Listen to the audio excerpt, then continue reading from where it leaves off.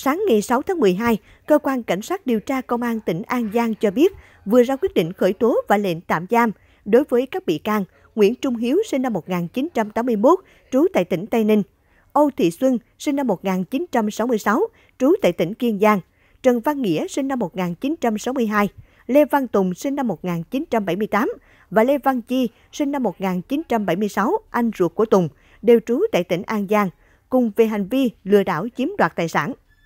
Theo kết quả điều tra ban đầu, sau thời gian quen biết, Hiếu và Xuân đã câu kết với Tùng, Chi và Nghĩa để lừa đảo chiếm đoạt tài sản vợ chồng ông C, trú tại thành phố Châu Đốc, tỉnh An Giang. Để thực hiện hành vi, Hiếu tìm cách gặp ông C,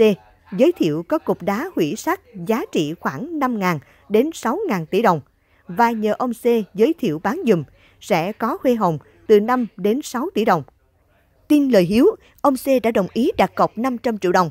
Để việc giao nhận thuận lợi, ngày 18 tháng 7 năm 2022, nhóm của Hiếu hẹn vợ chồng ông C đến quán nước tại thị trấn Nhà Bàng, huyện Tịnh Biên để Hiếu cùng Nghĩa Tùng đến gặp ông C, gian cảnh thực hiện việc giao nhận, còn Chi Xuân ở ngoài cảnh giới. Sau khi chiếm đoạt được 500 triệu đồng của vợ chồng ông C, cả nhóm chia nhau tiêu xài rồi bỏ trốn. Bằng các biện pháp nghiệp vụ, ngày 29 tháng 7, Hiếu bị lực lượng công an An Giang bắt giữ tại tỉnh Tây Ninh. Đến ngày 17 tháng 11, Xuân Tùng và Chi bị bắt giữ khi đang lẫn trốn tại Bình Dương, còn Nghĩa cũng bị lực lượng công an bắt giữ trước đó.